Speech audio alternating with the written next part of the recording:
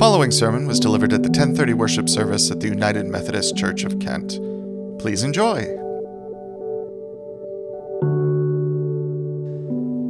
A few years ago now, back in the summer of 2018, I had the very unexpected experience of spending a couple of days and nights in the hospital. I didn't know it at the time, but a few weeks earlier, apparently, I had picked up Lyme disease, and its effects traveled almost immediately to my heart, where it blocked the electrical communication between my heart's chambers. On the Sunday morning I was in the hospital, I experienced a few brief periods when my heart stopped beating entirely and needed to be restarted. Later on that day, after my pacemaker had been implanted, the cardiologist who had been with me throughout that morning and who had been the one to restart my heart multiple times surprised me with a question.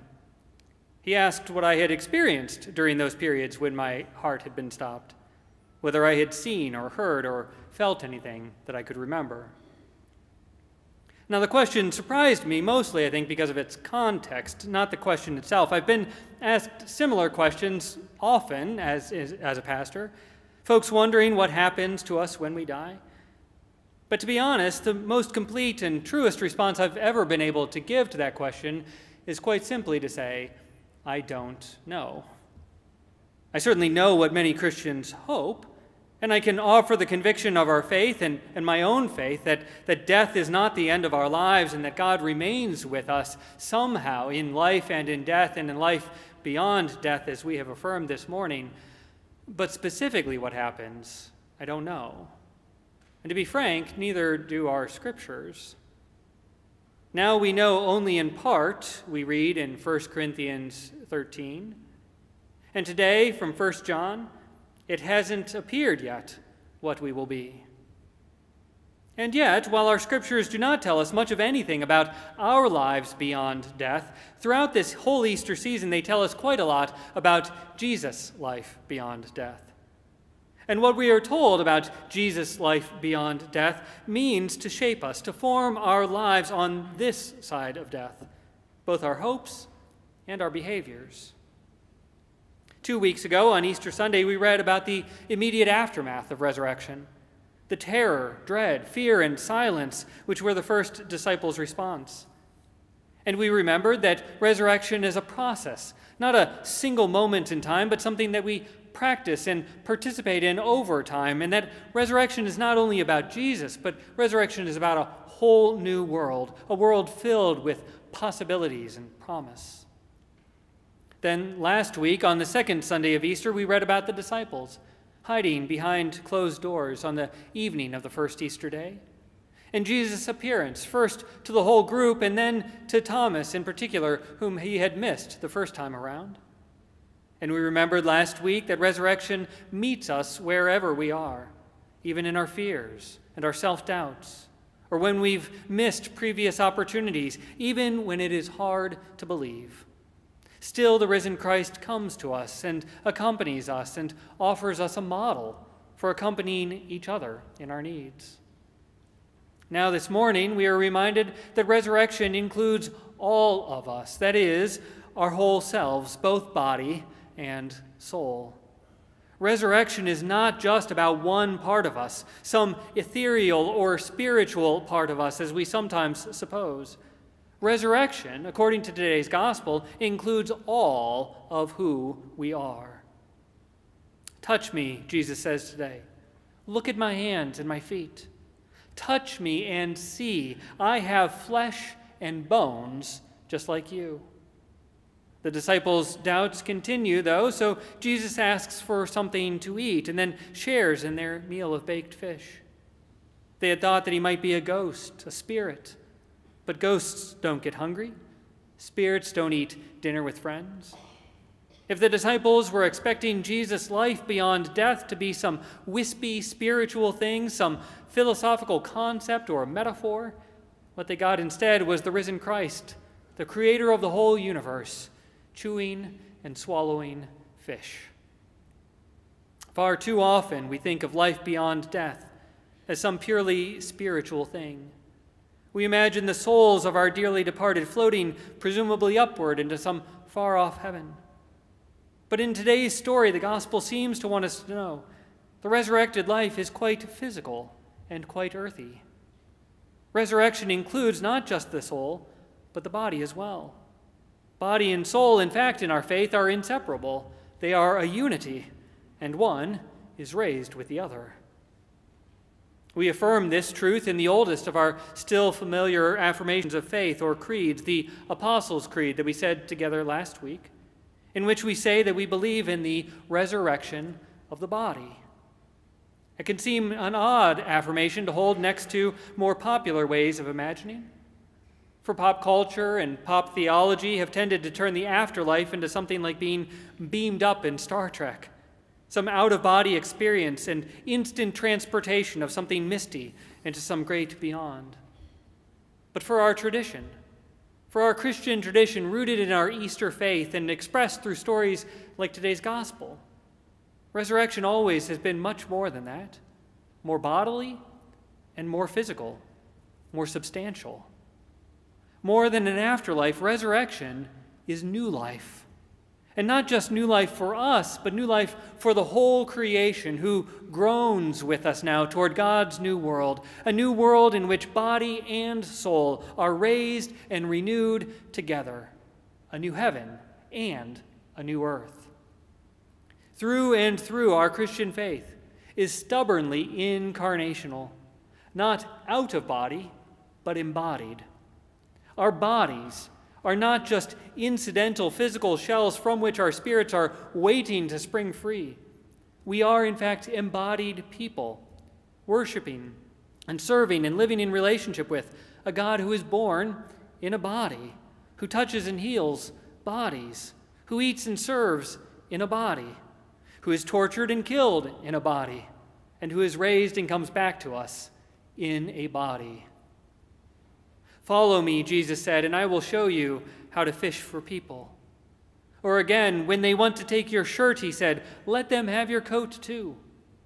Look at the birds of the sky. Notice how the lilies in the fields grow.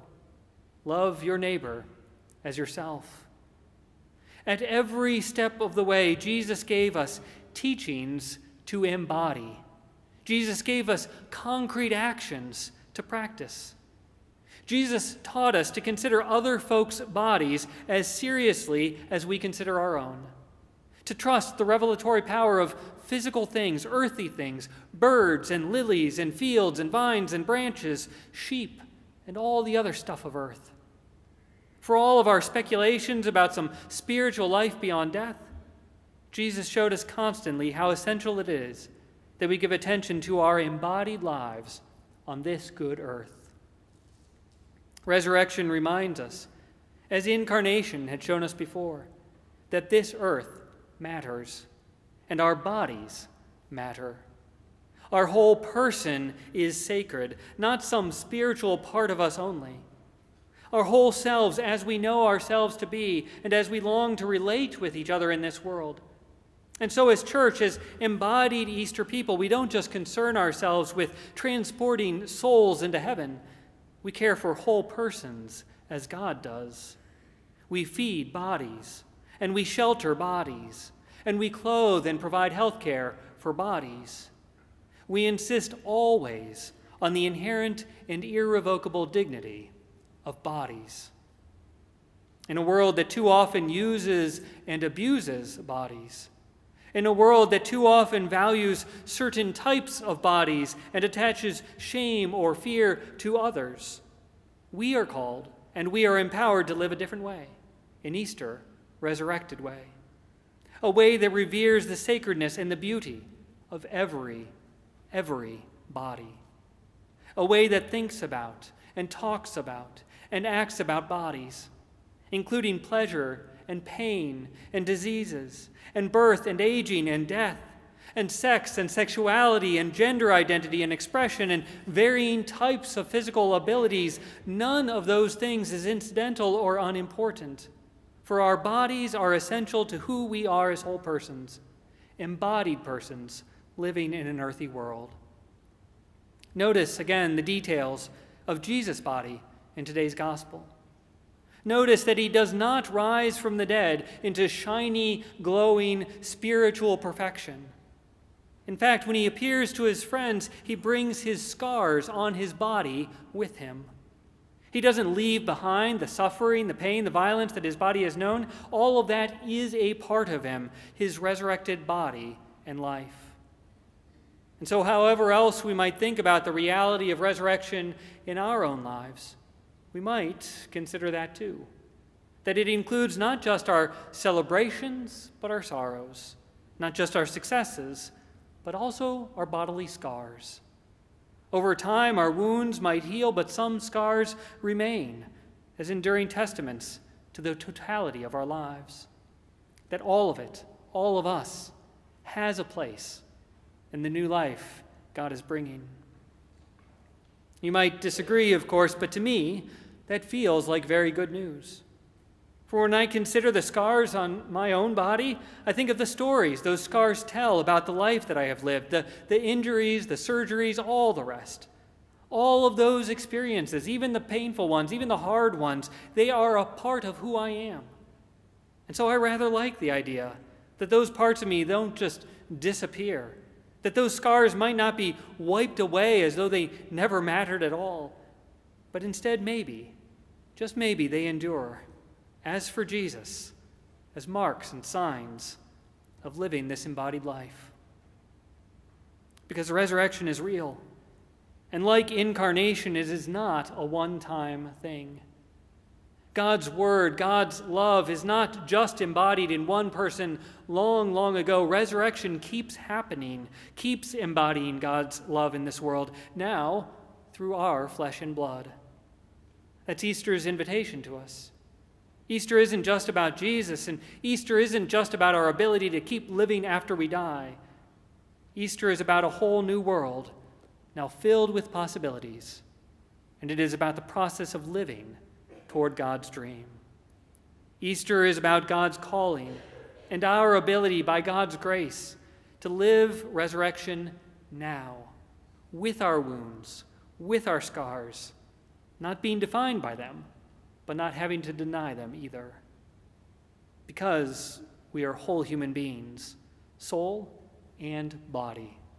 And resurrection includes all of us, each of us and all of who we are, not only in life beyond death, but also in life before death, as we inhabit day by day God's love and live as Easter people, as bodily resurrections of God's Word still made flesh. For Christ is risen.